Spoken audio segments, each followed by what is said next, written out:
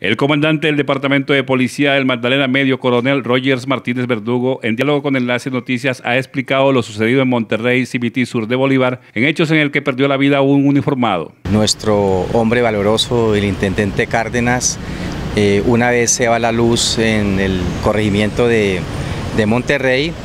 eh, se activa un plan de defensa en donde él hace una descubierta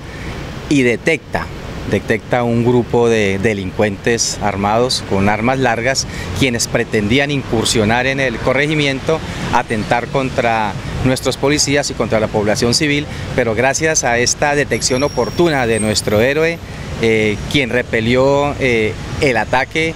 eh, de estos delincuentes y desafortunadamente pierde la vida, pero es así como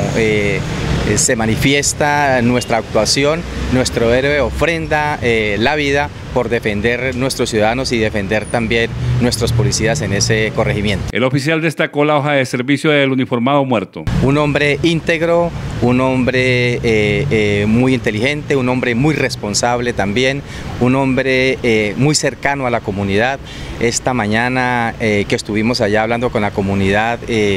la comunidad muy sentida por la partida inesperada de nuestro héroe. El coronel Rogers Martínez ha dicho que el cuerpo sin vida del uniformado se encuentra en Barranca Bermeja para las diligencias legales. Se encuentra en este momento eh, aquí en el municipio de, Barranca Bermeja, donde le están realizando los eh, procedimientos eh, normales y posteriormente será trasladado a su lugar de origen. Aseguró el oficial que se refuerza la presencia de la Policía Nacional en el sur de Bolívar a pesar de los ataques del ELN contra la institución policiva.